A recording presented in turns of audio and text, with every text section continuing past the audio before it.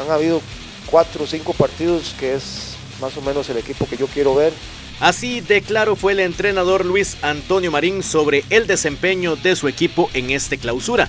El fin de semana empataron contra el Santos y el miércoles visitan Saprissa. Con los resultados del fin de semana, el Pérez Ledón se ubica décimo en el clausura con 18 puntos en 18 partidos. Que yo vislumbro que este equipo puede llegar a ser. Hoy yo creo que tuvimos un volumen de juego muy bueno. Hubieron otros partidos también que, tuvimos volúmenes de juego muy buenos. Eh, otros que no. Hemos, en muchos partidos hemos jugado muy bien, pero hemos perdido por diferentes circunstancias. Hemos sufrido muchísimas expulsiones, que también eso nos ha afectado muchísimo.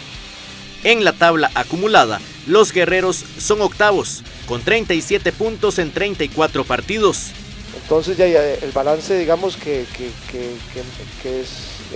depende de donde usted lo mire, ¿verdad? Si lo ves desde la parte de resultados, claramente nos, nos ha faltado. Si lo ves desde la parte futbolística, en muchos partidos hemos sido un equipo que juega bien, pero que nos ha faltado contundencia en las dos áreas, en, defensa para principalmente en, muchas acciones de balón parado como la de hoy, que hemos sufrido mucho, y, en ataque pues tener un poquito más de tranquilidad.